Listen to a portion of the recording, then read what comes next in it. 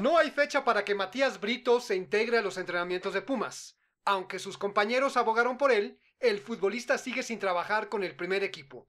Una decisión que es respetada por el plantel. Un jugador tan importante como Mati eh, siempre va a hacer falta. Y afecta en el, en el, hecho en el que no está un, compañero, un amigo, eh, alguien que te pueda aportar cosas distintas. Cada uno de nosotros tiene cual, cualidades diferentes y, y, obviamente que Matías eh, te, te, da ese plus también en muchas cuestiones. Entonces afecta de cierta manera, pero también prueba la, la madurez del grupo, el profesionalismo de cada uno de nosotros y a sabiendas de que, de que bueno, ahora no contamos con él, tenemos que, que seguir adelante.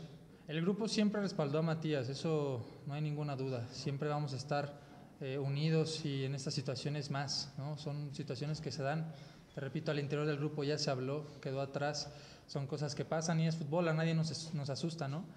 Y bueno, al final de cuentas quedan decisiones de la directiva, uno tiene que acatar y, y dar el siguiente paso, voltear hacia adelante, eh, tratar de utilizar la mayor cantidad de armas posibles. La verdad desconozco eh, el tiempo que no esté con nosotros, pero tenemos que nosotros pensar en el grupo, a final de cuentas somos un, un plantel de veintitantos jugadores y todos queremos jugar, entonces eh, dejar atrás este tema es, es algo que, que, se habló, te repito, y creo que volver a, a mencionarlo es eh, pues quedarnos atrás, ¿no? Hay que pensar en lo que tenemos, con lo que contamos y, y enfocarnos en Veracruz. Y en Pumas no hay pretextos. No llegar a la final es un fracaso. Bueno, es difícil decirlo. Realmente, obviamente nosotros queremos eh, llegar a la final de la Copa Libertadores, queremos llegar a la final de la liga.